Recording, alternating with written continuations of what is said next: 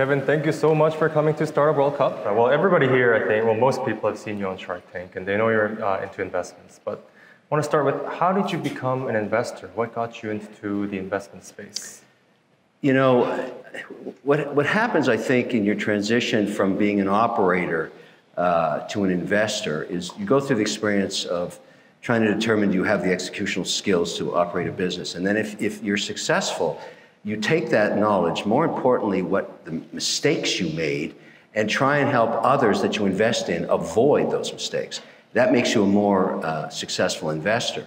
So that transition occurred after you know a few liquidity events, and like everybody else, I retired for a year and I got bored out of my mind. I've seen every beach in the world, and it's yeah. boring. And I wanted to get back in the game, and uh, I came back. Um, in private equity and venture, and I worked for some of the larger firms for a while. And then I said, I can do this myself, and I founded my own firm. That's generally the transitional path. And uh, Shark Tank came along, which, believe me, nobody thought this would happen. Um, and, and the, we're, we're going to learn a little bit about Shark Tank today because the secret sauce of Shark Tank is customer acquisition. Uh, you'll see uh, on tonight's show a product uh, that's going to air We'll sell two or three million dollars worth of it in one hour. Wow. We'll not pay anything for customer acquisition. Um, and my job as the investor is to take advantage of this massive social media platform. And, and when, I in, when I invest in companies, and I don't want this to come off as arrogant, but it's a fact, I'm not like another investor. Most investors come from you know, private equity or venture firms. They're great people. They have zero ability to acquire customers. All they can do is pay for them. My strategy is how can I tell your company's story and help you acquire customers at a significantly lower cost? That's the model of what I do. Great. Well, as you mentioned, you are different from a lot of investors uh, out here, and we do have a lot of entrepreneurs here as well. So I want to focus a little bit on the entrepreneur side. Yeah. You've heard thousands and thousands of pitches by now. What makes a winning pitch, in your opinion? How is that different from other pitches that don't get the funding? Yeah, there's three attributes. Um, and, and the, the, reason I have this data is the show Shark Tank is on in 42 countries. Some it's the generic American tape with, you know, voiceover to the language of that geography, and others is new productions like Canada and England and Australia and New Zealand, Brazil and Mexico where it's called Lion's Den in Germany and Dragon's Den in Australia, whatever. It's the same idea.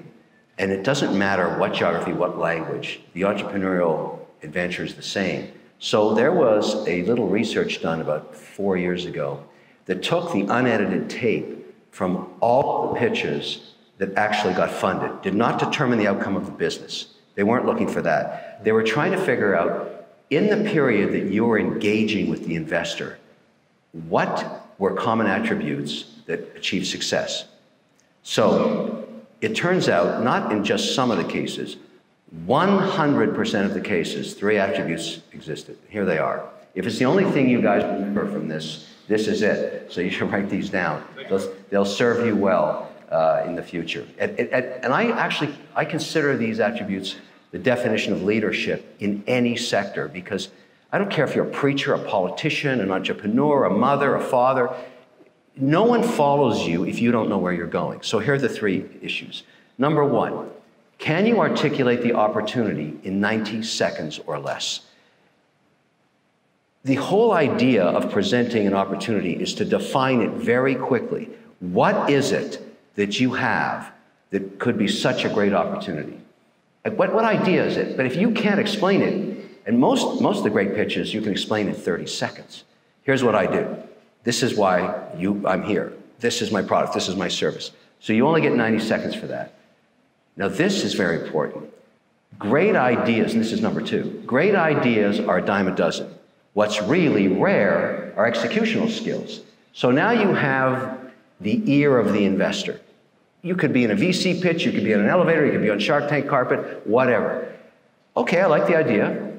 Why can you make it happen? What is it about you and your team that can execute on this? Do you know the sector? Have you done this before? Have you worked for a competitor? Have you failed three times and figured out the mistakes you made? I personally would rather invest in, a, in an entrepreneur that's failed and felt the sting of failure and is highly motivated to get out there and fix what they did wrong because they've learned from it.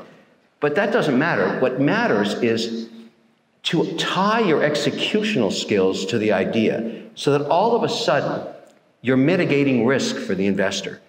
Great idea, great team, and I can feel the change in a room in the context of Shark Tank. You can start to see all these sharks start to say, hey, what do we got here? Yeah. And, and because you, you have to have executional skills. But there's one more, and this one's the killer. I've seen this happen so many times. So let's put it back in the context of Shark Tank. You've beat out 100,000 applications to be one of the 240 companies that tapes and you're there. You're, you have your moment. You got the first one right. Everybody loves your idea. You got the second one right. You've convinced everybody that you're the right person to execute. And then this happens. You have to know your numbers. How big is the market? How fast is it growing? What's the gross margins? What's the break even analysis? How many competitors do you have? You have to have those right on the tip of your tongue because that is the glue that binds. If you get onto Shark Tank carpet and you've got everybody else in your deal and you don't know your numbers, you deserve to burn in hell in perpetuity, and I will personally put you there. And I've done it many times. You have to know your numbers. It's the language of business. You get those three right, the probability of a deal goes up geometrically higher. And it's in every single successful pitch. You can go back in time, go and look at Shark Tank episodes. You will see all three of those attributes every time someone gets funded. If you like that video, wait till you see my next one. Don't forget to click right over here and subscribe.